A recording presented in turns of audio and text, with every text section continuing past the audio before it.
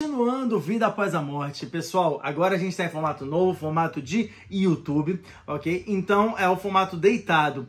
Lembrando que, gente, compartilha se vocês estão gostando, curte a página, é, é manda pro pessoal aí o que, que vai acontecer depois da morte da pessoa. Todo mundo vai passar por isso, independente se é Yehudi, se não é Yehudi, todo mundo passa por esse processo. Então, gente, compartilha, ajuda a gente a crescer, porque, por exemplo, no Instagram a gente tinha o quê? 4.500 seguidores. Então agora que a gente está no YouTube, a gente está o quê? Com 1.800 inscritos no canal. A gente quer que cresça Bezerra Hashem projeto, então Bezerra Hashem, por favor, ajuda a gente, que também vocês vão estar tá ganhando mérito, que cola a mesa que Tarabim em Reto Valhador, como está escrito em Pirkei no Perik Rei, Mishnah Yudhet. Beleza? Então vamos lá, dando com, com, é, é, é, continuação ao nosso, ao nosso shiur, a gente estava falando sobre o Mishpat Bashamayim, sobre o julgamento nos céus, a gente já falou sobre quem é que vai julgar a gente e nós já falamos também sobre quais são as perguntas que vão ser feitas no Shamayim. Só que está faltando uma parte muito importante do nosso julgamento, que é quem? São os testemunhos.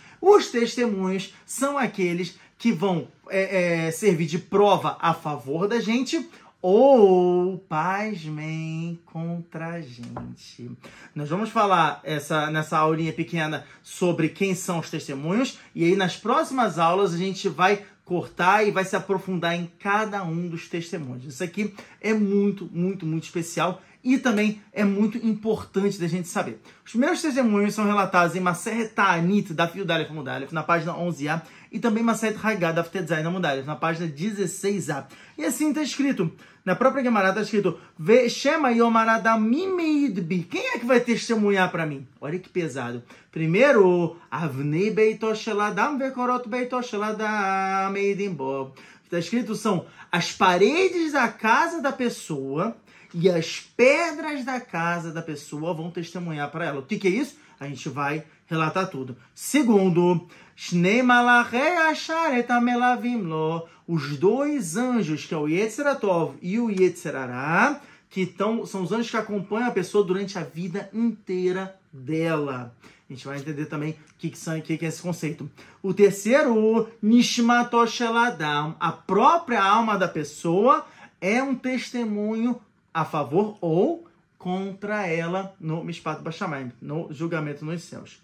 E por último, ele fala Evarei Bnei Adam, os órgãos da pessoa. A gente também vai entender que conceito é esse, chamado os órgãos da pessoa que vão testemunhar a favor ou contra a pessoa no Shamayim.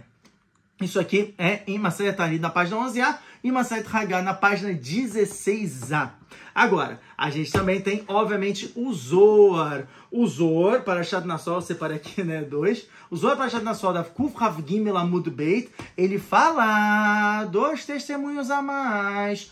Um, ele chama de Malar, que é anjo. A gente vai entender o que é esse anjo. Por que, que não é o mesmo anjo do Malar e?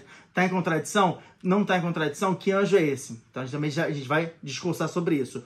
Dois, que ele fala também, ele fala, na verdade eu vou agora para Azor de Haremot, da Aineia Mudalha, na página 75a, fala a Torá. A Torá também, Meidalav, ela também testemunha sobre a pessoa. Então a gente também vai discursar sobre o que é a Torá. E, gente, a Torá é pesado, já falo logo de cara.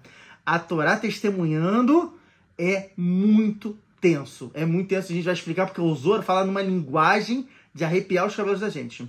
E o último testemunho é o que o Ramak traz. Agora sim, voltando para as outras páginas da nação da Kuf Ravigimela muito bem, na página 123b, ele fala que o outro testemunho que tem são as próprias pessoas que estão vivas ou as pessoas que estão mortas.